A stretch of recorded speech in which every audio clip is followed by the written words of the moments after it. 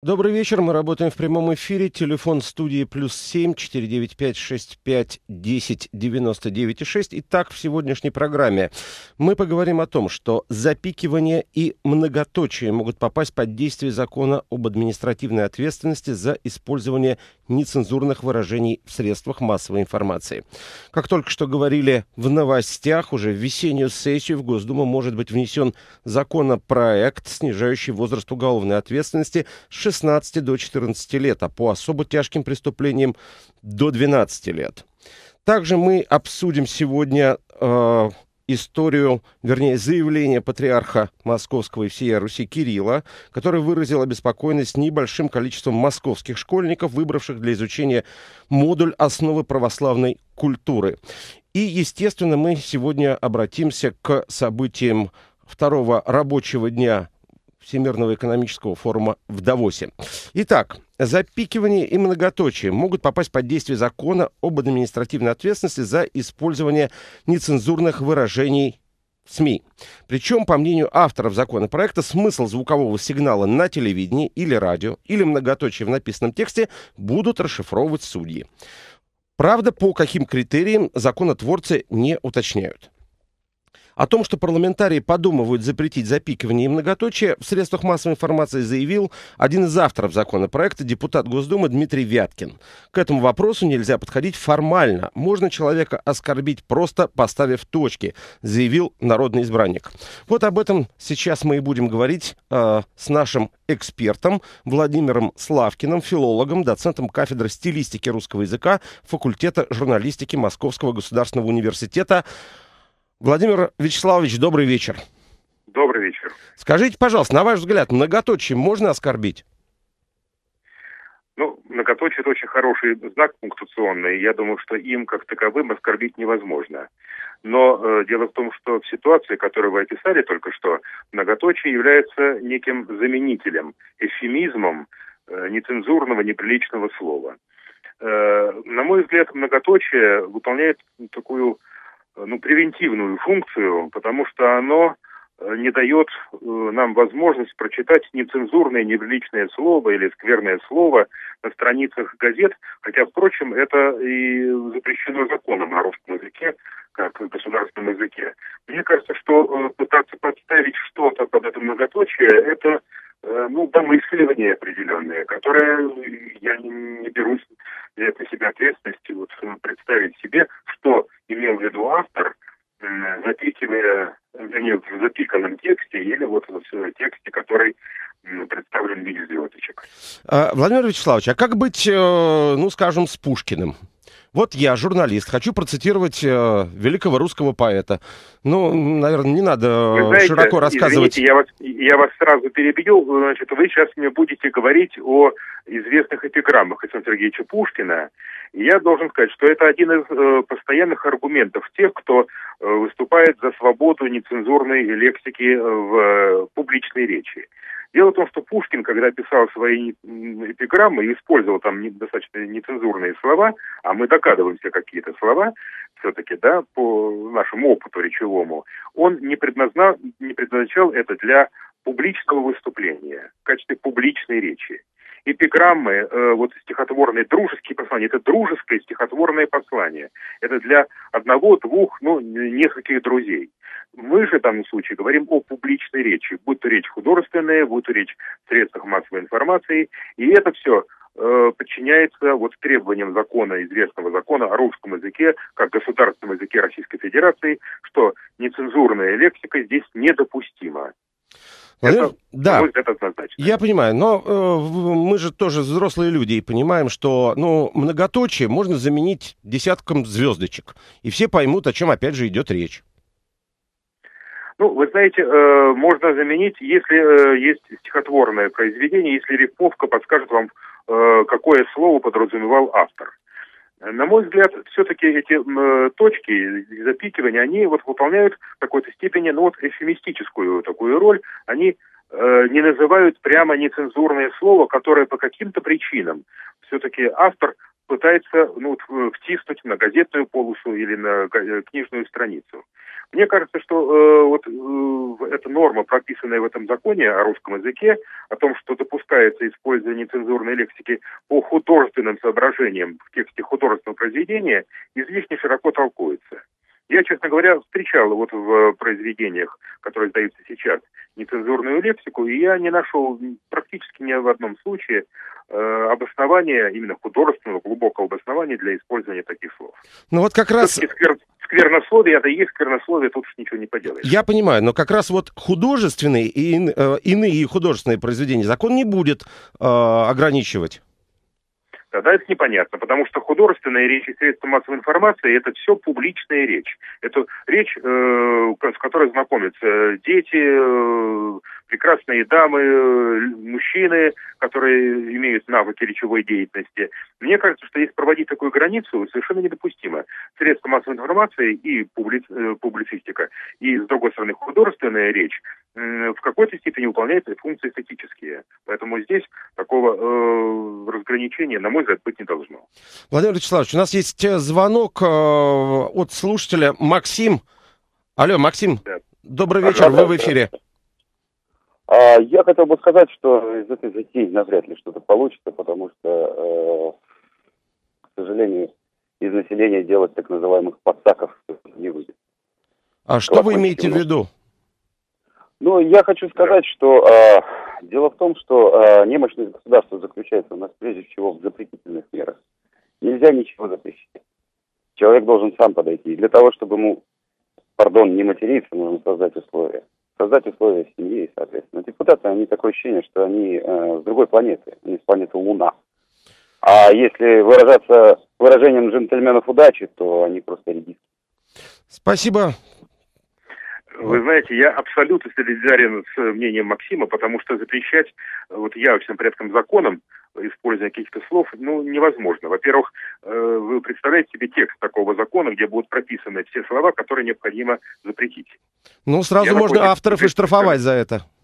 Сразу же вот, в том числе экспертов. А с другой стороны, вы знаете, вот я в свое время был на парламентских слушаниях в Госдуме, когда выступал господин Жириновский, и он там ратовал вместе с своими э, коллегами за употребление такой нецензурной лексики, это когда э, речь шла об обсуждении этого закона, о котором я говорил. Так вот, э, я на этих слушаниях выступал и сказал, что на самом-то деле здесь э, должно быть только одно обстоятельство. Должен быть стыд у человека. Если человеку стыдно говорить, да, то он эти слова не произнесет. А если у него нет ни стыда, ни совести, тогда он будет просто э, вот, материться и получать от этого какое-то внутреннее удовлетворение, вероятно. Но э, такому человеку в руку подавать не стоит. Я боюсь, тут речь немножко вообще о другом идет, что вот эти многоточия могут так же оскорбить, как и слово. А при этом а, вот однажды в моей практике была замечательная фраза произнесена моим главным редактором, который сказал, с каких-то пор журналисты разучились писать так, чтобы на них не подавали в суд. Вы знаете, это вот блестящее э, мастерство э, публициста заключается в том, что он может выразиться так, что его все поймут, все, более того, разделят его эмоции, да, э, негодование по поводу того или иного выступления или факта, но при этом все будет абсолютно безукоризненно с точки зрения закона.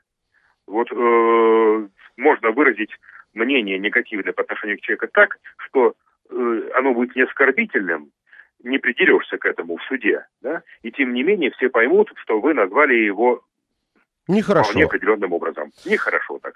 Нет, это эфемистично тоже. То есть вы обозвали его, но обозвали его интеллигентно, не нарушая внешних приличий, по крайней мере. Владимир Вячеславович, все равно, и все-таки возвращаясь, авторы закона, э, вот этого предложения, вернее, э, предлагают, да. что решать вопрос о виновности или невиновности средств массовой информации должны будут судьи. А, я так понимаю, что в общем, наверное... Вы знаете, я, я могу гарантировать, что судьи ничего этого делать не будут. Судьи будут направлять э, большое количество лингвистических экспертиз. Более того, эти, э, мы занимаемся этими экспертизами у нас на кафедре на протяжении, по-моему, лет 15 уже. И э, должен сказать, что судьи очень часто э, направляют нам запросы по поводу элементарных совершенно э, слов, трактовок, которые они могли бы сами вполне определить. Но если уж они не э, могут определить статус и значение слова э, своего родного языка, то тем более они будут обращаться по поводу вот этих знаков препинания, звездочек, отточей и прочих, которые будут содержаться в этих текстах. А что имел в виду автор, э, ну, ставя эти отточия, ни один судья, ни один эксперт вам не скажет. То есть вас зав- зав- завалят экспертизами? Завалят экспертизами, и я думаю, что у нас будет большое количество судебных заседаний, которые будут тянуться э, годами, может, даже и дольше еще. И напоследок... Ре, реальные перспективы этот э, законопроект не имеет, мне кажется. Спасибо. И все-таки напоследок, если все-таки это будет принято, э, принято эти поправки, э, вы думаете, этот список будет полностью опубликован? И значки тоже, я имею в виду полный комплекс? Я даже не представляю себе, в какую форму выльется этот закон. То есть нужно читать и вдумчиво осознавать. Но мне кажется все-таки, что в Госдуме у нас есть э, экспертное сообщество, которое проверяет законы на вменяемость. Я думаю, что там должно быть такое. Вот. И если этот закон будет совершенно четко противоречить реальности, то, наверное, они его и не будут принимать, а если примут, то отменят потом рано или поздно. Ведь у нас же, знаете, в нашей стране очень многое принятое. Потом э, отменяется подвергается э, отменам разного рода. Не буду говорить, о чем именно, вы понимаете, что я имею в виду. Большое вам спасибо. Напомню, что у нас на телефонной связи был Владимир Вячеславович Славкин, филолог, доцент кафедры стилистики русского языка факультета журналистики Московского государственного университета. Мы говорили о запикивании и многоточии в средствах массовой информации. Мы продолжаем обсуждать итоги уходящего дня. Телефон в студии плюс семь четыре девять пять шесть пять десять девяносто девять шесть. Пожалуйста, звоните, если вас что-то интересует. А, мы продолжаем. Уже в весеннюю сессию в Госдуму может быть внесен законопроект, снижающий возраст уголовной ответственности с 16 до 14 лет, а по особо тяжким преступлениям до 12 лет. А, бывший следователь Следственного комитета МВД, ныне адвокат Павел Зайцев, считает, что подобная инициатива может быть целесообразной. А, Павел Васильевич у нас на телефонной связи. Здравствуйте, Павел Васильевич. Здравствуйте. Скажите, пожалуйста, а почему вы считаете, что такая мера будет целесообразной и эффективной? Знаете, есть определенная статистика, которая свидетельствует о том, что, да, а, правонарушения совершаются лицами и 12-летнего возраста, и 13, и 14-летнего возраста. Дело в том, что мы все сразу боимся, как же детей будут сажать в тюрьму. Да не будут их так просто сажать в тюрьму. Если будут совершены э, какие-то преступления, которые э, не относятся к категории тяжких, то вряд ли суд 12, 13, 14-летнего подростка посадят в тюрьму. Но если э, будут совершены такие действия, которые квалифицируются как убийство или терроризм, совершенные 12-13-летним подростком, то сейчас, в настоящее время, по нашему действующему законодательству, это лицо не подлежит уголовной ответственности. Если мы внесем изменения в уголовный кодекс, то лицо будет подлежать уголовной ответственности, и суд будет принимать решение, э, стоит ли это лицо заключать под стражу, реально лишать свободы или нет. Я считаю, что это целесообразно, потому что э, многие преступники, я знаю, пользуются тем, что у нас возраст уголовной ответственности, ну, уголовная ответственность наступает с 14 лет. Поэтому специально э, вовлекаются в преступную деятельность э, несовершеннолетние подростки, которые используются, ну, например, при э, совершении там, или Э, карманных краж или так называемые форточники, э, которые имеют специ... Э, ну, специализацию, ну и другие преступления. Поэтому я считаю, что это целесообразно. Павел Васильевич, а вы полагаете, что подростки вот в этом возрасте, они до конца дают себе отчет в том, что они делают, куда их втягивают? Я думаю, что да. Могу сослаться на Э, практику других государств. В других государствах есть даже факты, где уголовная ответственность наступает гораздо раньше, чем 12 лет. И, и 14 в том числе.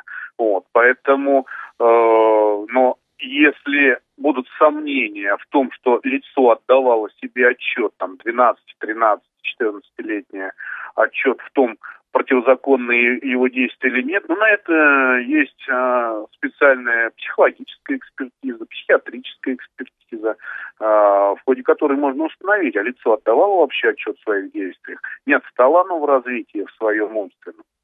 Я понимаю, что вы имеете в виду, но вот буквально недавно я читал историю, которая в Соединенных Штатах, правда, произошла, когда э, ребенок, подросток 12-13 лет принес э, в школу, ну, это классическая сейчас история в Штатах, и начал стрелять, и когда один из э, заложников попавших под обстрел людей спросил, что же ты делаешь? Говорит, я стреляю, это же прикольно. Вот как быть в такой ситуации? Это игра для ребенка была. Ну, для тех, в кого он стрелял и кого он мог убить или убил, это была явно не игра. Это и понятно. В данном случае общество, общество должно как-то защищаться, чтобы родители, опекуны этого ребенка знали, а, чему нужно учить ребенка, чтобы он не делал определенных вещей. Нужно его воспитывать. Скорее всего, этот ребенок этого просто не знал.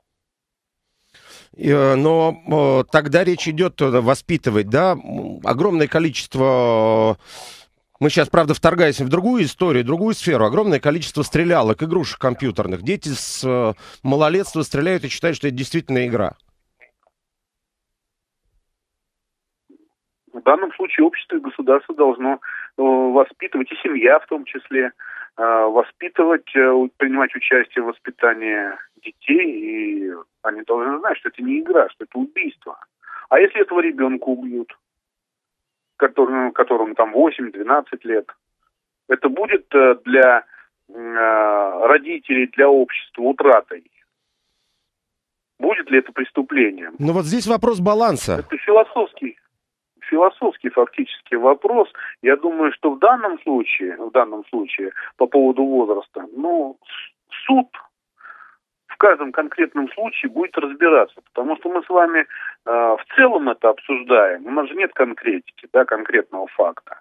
Вот. Наш суд решит, э, действительно ли э, лицо не отдавало себе отчет. Вот вы описали ситуацию, где ребенок не понимал, что он делает. Ну, пожалуйста, я сказал, провести э, психологическую экспертизу, которая даст заключение, что он не понимал, что он делает что он отстал в своем развитии, поэтому он не подлежит уголовной ответственности. Спасибо большое. Я напомню, что у нас на телефонной связи был Павел Васильевич Зайцев, ныне адвокат, в прошлом следователь Следственного комитета Министерства внутренних дел. А, Павел Васильевич выступает за снижение а, возраста а, уголовного преследования, но у этой инициативы есть и противники. И у нас на связи Светлана Ганушкина, член Совета правления Центра «Мемориал», председатель Комитета «Гражданское содействие». Светлана Алексеевна, добрый вечер. Здравствуйте, добрый вечер. Скажите, пожалуйста, вы, э, вот ваша позиция, вы выступаете против снижения э, возраста, в котором наступает уголовная ответственность. Почему? Да, я думаю, что это совершенно в этом нет необходимости, потому что есть преступления, которые дети не, вообще не осмысливают как преступление. Например, кража. Это появляется вот это чувство святости частной собственности появляется гораздо позже. И на самом деле не свойственно человеку от природы.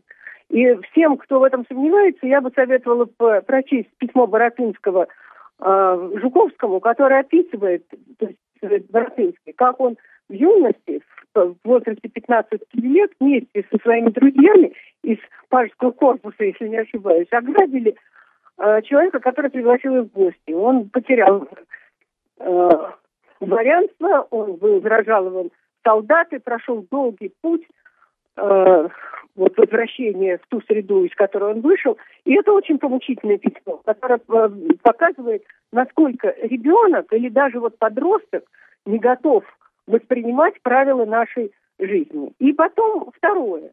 Насколько мне известно, вот самый низкий уровень, ну это какая-нибудь Индия или Сингапур, там вообще 7 лет. А, это, в общем, ну, давайте не будем равняться, да, все-таки мы больше на европейскую систему равняемся. Значит, это Англия, а, это Великобритания, и оттуда Соединенные Штаты, Австралия, там возраст 10, хотя в Соединенных Штатах, в разных штатах. С 10 лет там во многих Ничего, штатах. Да, и ни к чему хорошему это не приводит. А вот другой пример, Это Скандинавия. В скандинавских странах довольно высокий э, вот этот вот возраст ответственности. И Финляндия, имея опыт, так сказать, э, российский, сначала имела более низкий уровень, а потом перешла на скандинавский. И при этом число преступлений не увеличилось. И вообще дело, конечно, не, не, в возрасте, а в ответственности. А ответственность за ребенка все-таки несут взрослые люди. И вот они должны очень серьезно наказываться. Вот я считаю, что, например, если сейчас вот такие преступления в Германии, когда брат убил сестру, десятилетний ребенок убил сестру, потому что она так совершала не те поступки, которые нужно из э, мусульманской страны, и его не судят, потому что он не достиг возраста ответственности, а родители не судят, отца не судят и братьев, потому что не было прямых указаний, а отец сказал, э, ты знаешь, что надо делать, вот так вот этого не должно быть. Вот родители должны нести ответственность. Вот отца должны были привлечь ко всей строгости к ответственности как организатора преступления. Светлана Алексеевна, вот перед Ой. вами мы разговаривали с адвокатом э, Павлом Зайцевым, и он, наоборот, настаивает на том, чтобы э, эти дела все равно передавали в суд, возраст был снижен, и уже суд будет разбираться, отдавал ребенок себе отчет о том, что он делал, или не отдавал. Вы знаете, во-первых, у нас, к сожалению, судебная система – сейчас не является независимой, мы все знаем, сколько у нас судебных ошибок и простых фальсификаций, и вот отдавать это на откуп конкретному судье, который еще не и адвокату, который еще неизвестно, какой он адвокат, потому что мы все время сталкиваемся с тем, что, к сожалению, адвокаты часто выполняют не свою адвокатскую работу, а занимаются совершенно иным. При том уровне коррупции, который у нас есть, на мой взгляд, это ну, Давайте мы сейчас адвокатов обсуждать не будем, мы обсуждаем конкретные предложения. Да, вот, ну, а конкретное предложение в конкретной ситуации. Вот на сегодняшний день, на мой взгляд, ситуация такая, что взрослые должны брать на себя ответственность за детей, а максимально нужно определить, несмотря на то, что мне казалось бы, что судья должен большую ответственность на себя брать, но тем не менее, вот такие вещи на него ответственность отдавать нельзя. Это должно быть определено законом. И тем не менее, и как же быть, быть с теми... И должна быть еще юстиция, воспитанная на том, на понимание детской психики. Вот что очень важно. Вы говорите о ювенальной юстиции?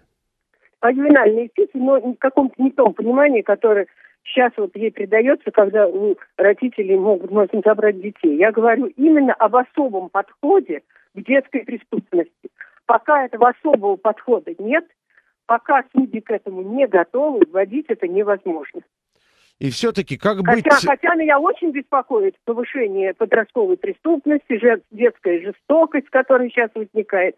Но начинать надо не с этого. У нас всегда все хотят решить изменением на бумаге, а не изменением по существу. А по существу это как? Ну вот 12-13 лет, э, карманник и форточник. Что делать? Родителей сажать? Нет у него родителей, он на улице растет. Зачем его сажать? Ведь из этих карманников и форточников вспомните педагогическую поэму. Приличные люди вырастали. Его воспитывать надо. Ну, Еще к сожалению, Макаренко у нас не так много. Так вот, надо воспитывать Макаренко. Надо, чтобы у нас было больше Макаренко, и чтобы мы сами были все немножко Макаренки. И к 12-летнему мальчику, который украл, я категорически против того, чтобы к нему применялись вот эти вот э, законы так, как взрослому человеку. Потому что это вообще не насильственное преступление. Это совершенно разное. Вот когда подростки забили бомжа насмерть, вот тут у меня гораздо больше возникает вопросов к тому, могут эти люди дальше жить как нормальные, и что нужно сделать для того, чтобы это было так. А когда подросток крадет булку, потому что он голодный, ему нужно, вот, нужно думать о том, что происходит в обществе, в котором голодные подростки. Спасибо вам большое за участие в нашей программе. Напомню, что у нас на связи была Светлана Алексеевна Ганушкина, член Совета правления Центра «Мемориал». И мы сейчас э, при помощи наших экспертов обсуждали предложение о снижении э, возраста, в котором наступает уголовная ответственность с 16 до 14 лет по особо тяжким э, преступлениям до 12. Финал. Мы продолжаем подводить итоги уходящего дня Телефон прямого эфира плюс семь четыре девять пять шесть пять десять девяносто девять и шесть. Сегодня патриарх Московский всея Руси Кирилл выразил обеспокоенность небольшим количеством московских школьников, выбравших для изучения модуль «Основы православной культуры». В Москве изучать православную культуру захотели лишь чуть больше 23% школьников. Это самый низкий показатель в Центральном федеральном округе. Поступают обоснованные жалобы на то, что многие родители не имеют возможности в полной мере распорядиться правом выбора того или иного модуля для своих детей, включая православную культуру, заявил патриарх. По его мнению, это зачастую происходит Вследствие неверной трактовки некоторыми руководителями образовательных учреждений и органов управления образованием понятия светскости государства, а также оказанием давления на родителей с тем, чтобы они выбрали для своих детей основы светской этики или основы мировых религиозных культур. А, на самом деле эта история очень спорная. А, многие а, представители образования а, различных конфессий а, выражали сомнения вообще по поводу целесообразности введения подобного предмета а, в школах. Тем не менее, этот предмет был введен по статистике Министерства образования э, большинство родителей предпочли нейтральные предметы. Около 41% высказали желание изучать основы светской этики. Еще 20% выбрали курс «Основы мир мировых религиозных культур». У нас на связи Сергей Казарновский, заслуженный учитель России, директор Центра образования, класс-центр номер 686. Сергей Зинович, добрый вечер. Добрый вечер. Скажите, пожалуйста, а, ну, копий было вокруг этого предмета сломано огромное количество. Вот его Да. ввели. А, Да. родители а, сами выбирают сейчас, я так понимаю, за своих Да. детей, что им изучать. Да, да, совершенно верно. А почему же тогда так, э, ну, я бы сказал, нервно русская православная церковь реагирует? Вот всего 23%. Ай-яй-яй. Ну и что? Мне кажется, что просто она абсолютно э, из большевиков вышла, и это абсолютно большевистский такой посыл недовольства человеческим материалом. Вот что это не происходит так, как им бы хотелось. Но жизнь другая, особенно если говорить про Москву, вот она показала так. Я читал э, слова э, нашего руководителя церковного Кирилла, который сказал, что школа давит на э, родителей. Ну, это больше нелепости трудно, конечно, придумать. Мне кажется, что все происходит как раз очень объективно, потому что родители хотят такого культурологического подхода, они хотят исключить максимальное количество каких-то столкновений, потому что школы переполнены действительно разными людьми. В Москве это уж точно и очевидно. Поэтому это как раз вообще школа самое конфликтное место на Земле. Такое количество интересов там э, всегда сходится, что избавление еще от одного конфликта и культурологический подход, э, мне кажется, это очень точные, абсолютно отражающие настроение людей, ну, как минимум, московских. Сергей Зинович, э, насколько я понимаю, сейчас вот среди как раз э, детей, которые учатся в школах, очень высок процент детей мигрантов, которые приехали в Россию. Ну, конечно, ну, понятно, что они все-таки э, э, распределены как-то по Москве не совсем равномерно, но, тем не менее, их огромное количество. Ну, вот э, Евгений Александрович Ямбург недавно выступал и говорил о том, что э, в педагогической науке э, никогда не было так востребовано, ну, как э, преподавание русского языка иностранцам. Да, это реальность, с которой мы столкнулись. Да, понятно, что эти люди, э, дети их, ну, огромное количество составляют учеников наших сегодняшних школ. И это проблема, которая влечет за собой ну, много, много всяких следствий. Вот одна посылка, только это, это колоссальное количество следствий. Поэтому и это влияет, безусловно, на этот процент, о котором говорит Кирилл.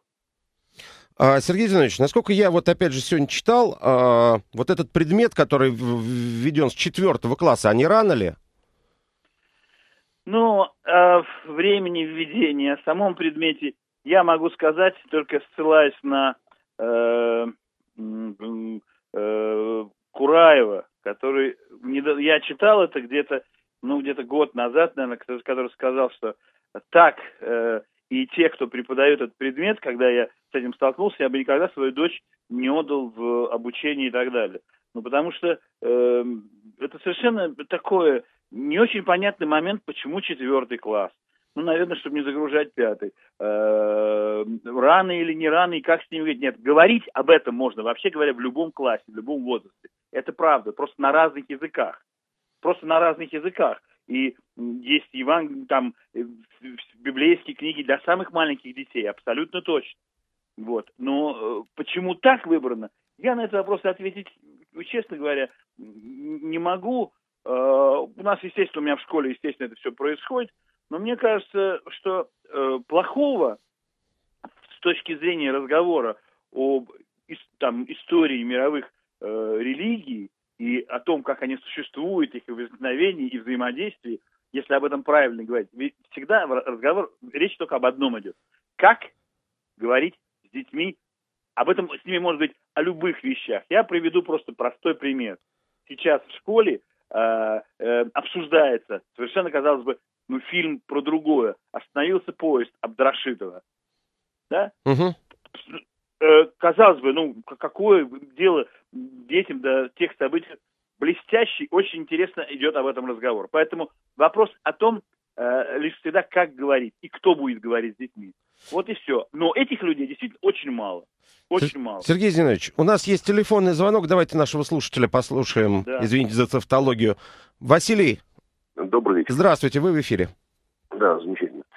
Ну, знаете, я, вот, честно говоря, несколько раз сталкивался с тем, что э, при выборе, э, какую, э, какую форму обучения людям выбирать, э, со стороны руководства навязывалась просто позиция, что вот э, светское образование и только. Им может быть проще. Вот с одной стороны. С другой стороны, может быть, это э, некая этническая логика, в московском образовании присутствует. Вот. Василий, скажите, а да. вы сами столкнулись с тем, что вот вам, как родителю, навязывали какой-то курс? Ну, у меня, скажем так, это будет еще через год полтора, через год. Вот это было с моими друзьями. Угу. А что именно навязывали? Светское образование. Хотя люди хотели выбрать православное образование. Ясно. Большое спасибо вам за звонок. Да. А, Сергей Зинович, как прокомментируете? А, ну, я не исключаю совершенно, что а, где-то это и происходит. Это совершенно нормально, что ну, кто-то предлагает, понимая не только, э, э, ну, я так, я так думаю, да, думаю не только о конкретном данном человеке, ребенке и так далее, э, но понимая общую ситуацию школы и пытаясь, наверное, как избежать неких конфликтов, что совершенно нормально, вообще-то говоря. Но э, вот я только что смотрел детей в первый класс. Я понимаю, что дети все приходят, у них у каждого крестик, там, мы там с ними играем, очень весело, всякое, мы смотрим их. У них каждого, они все крещенные дети, все нормально. И тем не менее в разговоре с родителями понятна одна вещь, что они хотели бы, чтобы м, такого рода просвещением они занимались немножко по-другому. Либо в семье, либо в воскресной школе и так далее. А не в школе, где это является одним из уроков, понимаете? Потому что все очень боятся, пройдя э, э, школу, что школа очень часто, очень часто, да, в, э, построена таким образом, что внушает некое отвращение, потому что вот, ну, так школа устроена. Я скажу даже больше. Один замечательный педагог, как сказал, до 7 лет мы его учим детей ходить и говорить. А потом они приходят в школу, и мы их учим сидеть и молчать. И вот, исходя из этой логики, многие просто реально боятся. Пусть это будет, так сказать, не предмет, который для него сокровенен, если они православные, нормально, истинно православные люди, а этим они займутся потом в семье, с, со своим батюшкой там, либо в воскресной школе и так далее. Мне кажется, это нормальная история. И разговор о светской школе тоже не бессмысленный. Потому что, ну, вообще вы должны понимать, что э, вопрос религии и школы – это вопрос не российский только. В Европе, Лига образования Европы считает это сегодня, а до сегодня, за столько лет они этим занимаются, одним из главных вопросов. Да, они стараются все время доказать о том, что школа, ну не доказать, а борется за светскость, европейской школы. Там много католических школ, много да. всевозможных школ. И, тем не менее, это Да, да Сергей Зинович, ну мы просто ограничены по времени. Мы еще хотели предоставить слово, собственно, представителю Русской Православной Церкви. И э, я благодарю вас за то, что вы приняли участие в нашей программе. У нас на связи э, Сергей Никитин, отец Сергий, настоятель храма преподобного Семена Столпника. Э, отец Сергий. Алло.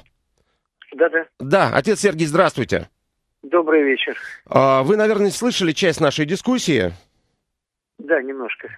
А, вот все-таки а, тот предмет, который сейчас а, опять стал широко обсуждаться в школах, да, по-разному, шесть модулей так называемых.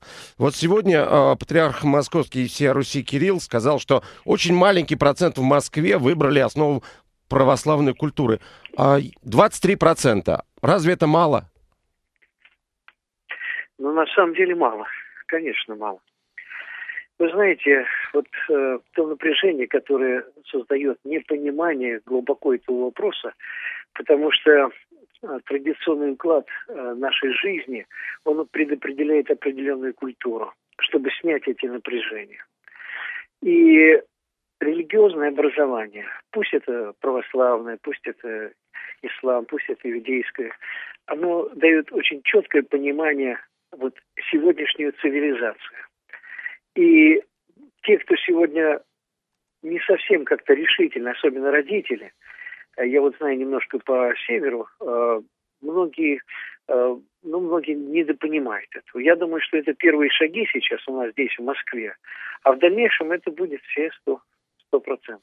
Ну разве плохо, если дети изучают, скажем, основы мировых религиозных культур? Почему православное, вот именно православие?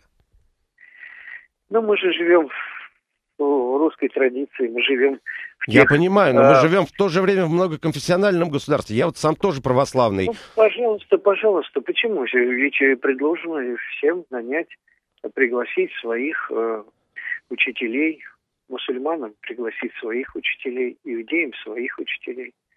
Но самое важное, чтобы это не несло агрессию. Самое важное, чтобы вот эти религиозные основы, которые сегодня уклад нашей жизни формирует, это очень самое важное. Потому что, вы знаете, все, что сегодня мы принесли из океана и из Запада, только грязь. Только грязь. Уклад, настоящий уклад, русский добрый уклад, миролюбивый уклад с какими-то удивительными основами э, патриотизма. Насколько я Это понимаю, ни одна религия не призывает к насилию, воровству, убийствам и прочему. Да, это так. И эта религия будет помогать молодым нашим ребяткам, маленьким ребяткам формироваться.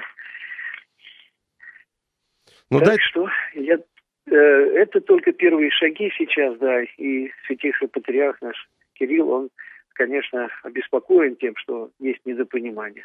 Но мы в пути, мы в пути. Я думаю, что в ближайшее время многие э, осознают это и обязательно к нам вот, ну, дай-то бог. Я благодарю вас за то, что вы нашли возможность принять участие в нашей сегодняшней программе. Напомню, что мы говорили о так называемых модулях предмета основы религиозных культур и светской этики, который сейчас изучается с четвертого класса. На него в школьной программе отведено 34 часа.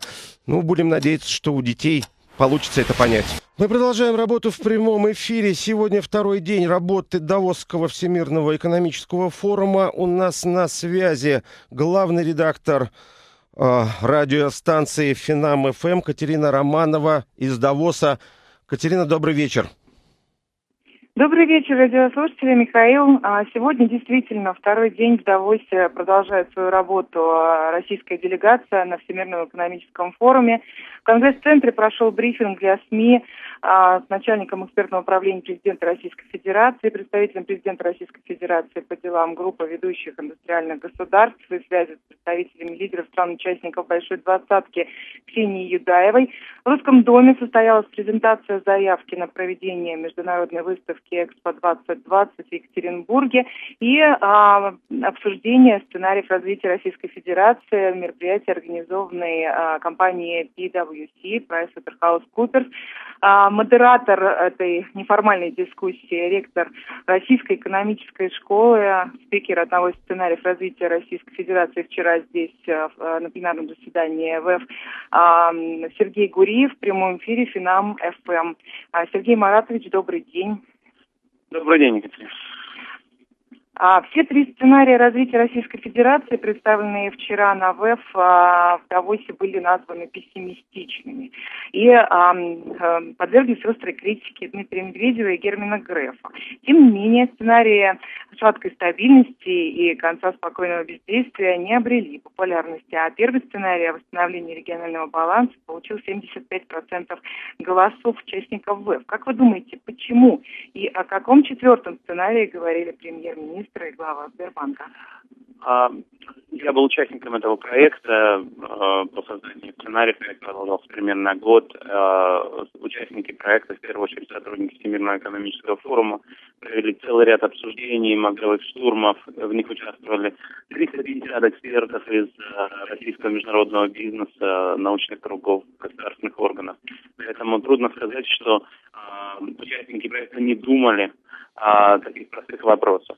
Просто участники проекта в целом, наверное, не разделяют оптимизма с точки зрения э, способности российского государства или желания российского государства решать проблемы повышения качества институтов э, борьбы с коррупцией и так далее. И вот когда вы говорили о голосовании, Екатерина, э, я хотел бы напомнить, что участники пленарного заседания в подавляющем большинстве своем сказали, что самая главная проблема в России – это качество государственных институтов и, и из пяти вопросов, из пяти возможных вариантов ответов 78% выбрали именно этот ответ, что показывает, что, к сожалению, пока а, российские международные а, бизнесмены не уверены в том, что четвертый положительный сценарий будет реализован. С другой стороны, а, мне кажется хорошо, что нет и катастрофического сценария среди этих трех сценариев. Никто не говорит о каких-то апокалиптических а, вариантах развития событий. А позвольте, Михаил? да, Катерина, позвольте, а, Сергей Маратович. Алло, да, Сергей Маратович, добрый вечер. У меня вот какой вопрос. Почему, собственно, надо было обсуждать именно негативный сценарий? Вот есть четвертый, да, вот, может быть, все-таки действительно стоит про это говорить. А, мы, э, мы хотели обсудить, ну не только я, но все участники проекта, хотели а, сделать а, работу, хотели собрать с точки зрения международного бизнес-сообщества. И, к сожалению, эксперты, которые участвовали в этом проекте, все хотят жить в хорошей стране, все хотят, чтобы реализовался а, а, четвертый положительный сценарий, где российское правительство побеждает коррупцию, а, строит конкурентную экономику. А, в России быстрыми темпами развиваются системы а, а, производства человеческого капитала и так далее. Но более реалистичными, к сожалению, а, были избраны эти варианты развития событий, где, возможно, такого рода реформы проходят в лучшем случае в некоторых регионах. А, я думаю, что э, у экспертов просто нет задачи придумывать а, какие-то идеальные миры, в которых, на которые мы смотрим через розовые очки. Потому что если вы будете делать бизнес, исходя из своей мечты, это может кончиться плохо. Бизнес лучше делать, исходя из реальных вариантов развития событий.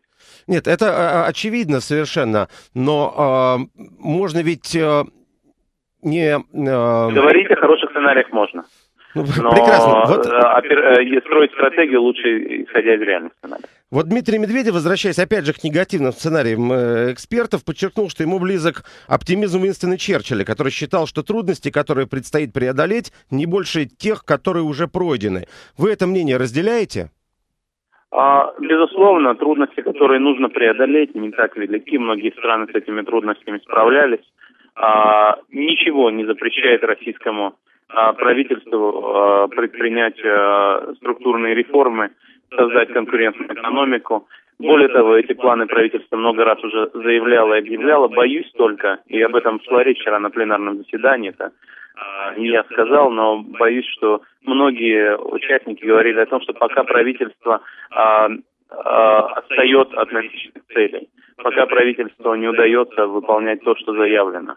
Вот. И вот только что мы вместе с Екатериной были на сессии а, когда мы обсуждали эти сценарии уже после пленарного заседания, и когда я сказал, что указ от 7 мая, подписанный Владимиром Путиным сразу а, после инаугурации о том, что Россия в 2015 году будет на 50-м месте а, в рейтинге Doing Business, а, подавляющее большинство аудитории, к сожалению, встретило а, скептически, и даже некоторые люди засмеялись. А, Сергей Маратович, вот буквально вчера смотрел э, новости, и по одному из прогнозов, не буду сейчас э, врать, просто не помню, но одной из, э, одной из ведущих компаний э, России, наоборот, э, прогнозирует пятое место в течение ближайших 10 лет в мировой экономике. А вы знаете, пятое место можно занять по целому ряду критериев. Речь идет, конечно, в первую очередь о пятом месте по уровню ВВП, по размеру ВВП, не по, по ВВП на душу населения, то есть не по уровню жизни, а по размеру ВВП э, с точки зрения паритета покупательной способности. Это вполне возможно, особенно если э, страны, которые сегодня находятся впереди России, э, попадут в стагнацию, что весьма вероятно.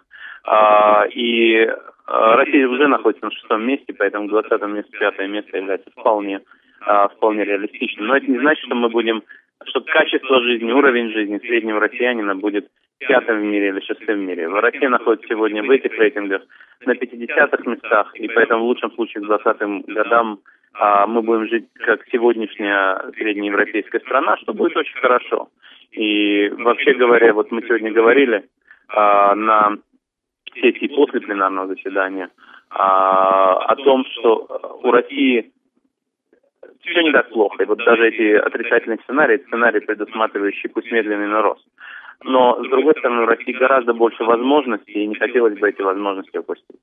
Сергей Маратович, а в ходе вот этих дискуссий какие-то советы, может быть, э, давались для развития российской экономики? Советов было дано много. А, все эти советы власть хорошо знает. Более того, многие из этих советов записаны в программах самого правительства. Дмитрий Медведев много говорил о том, что он уже говорил о, о, об этом и собирается выполнять свои обязательства, развивать политическую конкуренцию, конкуренцию в экономике, проводить массированную приватизацию любой ценой. А, говорил о том, что Россия а, резко улучшит инвестиционный климат – а, просто по каким-то причинам аудитория Всемирного экономического форума, а, судя по голосованию, считала, что правительство пока а, есть еще а, к чему стремиться с точки зрения выполнения своих обязательств. Ну, насколько я понимаю, стремиться всегда есть к чему? А, ну, мягко говоря, а, вы знаете, в разных странах есть разные проблемы. А, и в России главной проблемой является само государство. Именно так а, судя по итогам голосования на пленарном заседании, считает большинство, э, большинство международного бизнес-сообщества. А что по этому поводу говорят в российской делегации в члены правительства? Как эти ограничения будут сниматься? А, российская делегация считает, что по разным причинам раньше это не удалось сделать, но в будущем удастся. Какие сроки? Я хочу добавить к, вашей, а, к вашему разговору о том, что сейчас на пленарном, э, после пленарного заседания на свободной дискуссии очень много уделила внимания э, российская делегация разговору про человеческий потенциал. Сергей Михайлович, что именно вы говорили о потенциале человека и а, на какой оптимистичной ноте закончилось это заседание? А, на самом деле, на самом деле, одна из возможностей и преимущества России заключается в том, что в России все-таки очень образованный, обра, очень образованная рабочая сила. И, к сожалению, конечно, качество российского образования снижается, и надеяться на то, что без э, улучшения качества государственных институтов нам удастся э, повысить качество образования, конечно, такой надежды нет. Но с другой стороны, если Россия э, будет э, проводить э, вот те реформы, о которых мы говорили, будет строить э, конкурентоспособное государство и, соответственно, конкурентоспособную образовательную систему, то в России, у России есть все шансы на самом деле стать одним из ведущих игроков на мировом уровне образования и исследований. И это, в свою очередь, поможет создать э, конкурентоспособную экономику, э, которая не будет э, зависеть от, от нефтяных цен. Сергей Маратович, если... Я рассчитываю, что Сергей Маратович э, в прямом эфире радиостанции Финам ФМ в одной из программ сможет рассказать намного больше, чем в эти несколько минут, которые у нас есть. Спасибо большое, Сергей Маратович. И я хочу проанонсировать, э, что сегодня э, в Русском доме в Давосе пройдет еще прием ОАО Северных Кавказов, курорт, курорт Северных Кавказов. Мы увидим и музыку, и прием во всей красе, которые могут обеспечить наши южные национальности. Э, и завтра в свободной форме в Русском доме будут проходить также встречи и переговоры, вечером приемовка открыть. И, в общем-то, Русский дом не заканчивает пока свою работу, ровно как и Всемирный экономический форум. Спасибо большое, Екатерина. Как ассистент хотел бы сказать, что действительно э, у курорта Северного Кавказа большое будущее. Хотел бы сказать, что слово Russian House на, на русский язык переводится не как русский дом, а как российский дом. Спасибо. Большое спасибо. А, Катерина, у меня единственный вопрос к вам. А, если вы меня слышите еще, а, что будет завтра? Завтра, как я уже сказала, будет свободный день в Российском доме. Спасибо за поправку. И э, будут очередные приемы. А на Всемирном экономическом форуме продолжают свою работу иностранные делегации и э, средства массовой информации разных стран мира. Большое вам спасибо за участие в сегодняшнем нашем прямом эфире. Я напомню, что на прямой связи из Давоса у нас была Катерина Романова, главный редактор нашей радиостанции, а также Сергей Маратович Гуриев, ректор Российской экономической школы. Сегодня он был модератором дискуссии, которая была организована компанией Pricewaterhouse для неформального обсуждения проекта Всемирного экономического форума в Давосе сценария развития для Российской Федерации, а также вариантов развития российской экономики. А, сегодня мы успели много чего обсудить. Надеюсь, завтра будет день также богатый на события. Я благодарю всех, кто принимал сегодня участие в нашей работе. Всего доброго, до завтра.